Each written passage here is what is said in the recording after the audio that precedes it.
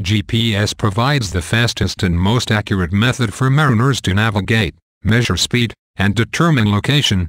This enables increased levels of safety and efficiency for mariners worldwide, but it must be used properly. There are many makes and models of GPS available. The more you spend, the more features and functionality you'll get. Be sure to familiarize yourself with the model you're using. It is worth it. Familiarize yourself with the GPS antenna and the associated cabling. Protect them from damage. Familiarize yourself with the buttons on the GPS set and what they do. Familiarize yourself with the menus in the GPS. Only a nautical chart will provide the details of depths and navigational hazards that assist in selecting the waypoints.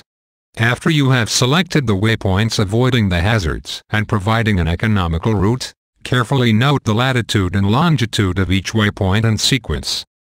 The latitude and longitude coordinates of the selected waypoints are either entered or uploaded to the GPS. Your route is now entered in the GPS and can be saved for repeated use.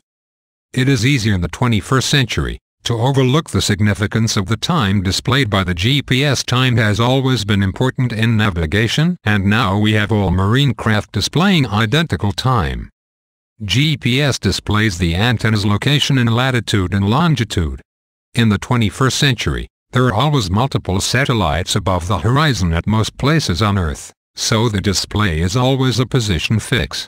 This position fix is being updated by computers as the boat is progressing and the satellites are orbiting.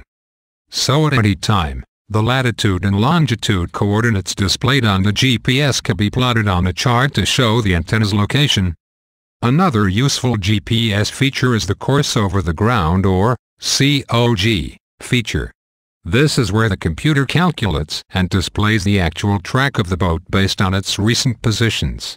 If the course over the ground is significantly different from the course that the GPS calculated to be followed between the waypoints, the boat is likely being affected by an external force, like wind and current, or the helmsman is not doing a very good job.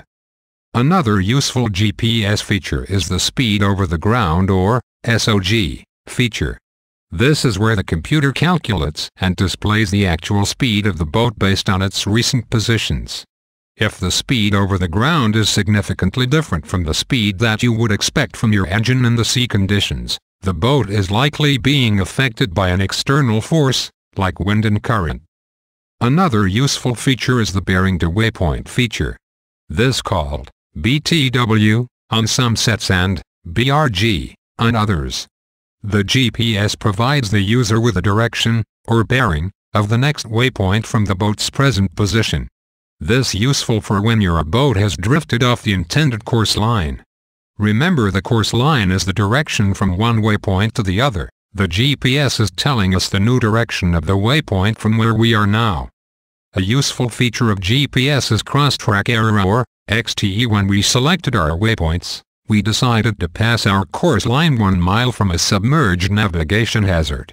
Now that we are executing the passage plan and monitoring our progress, the GPS will tell us how far off the course line we are or how close to that navigational hazard we are.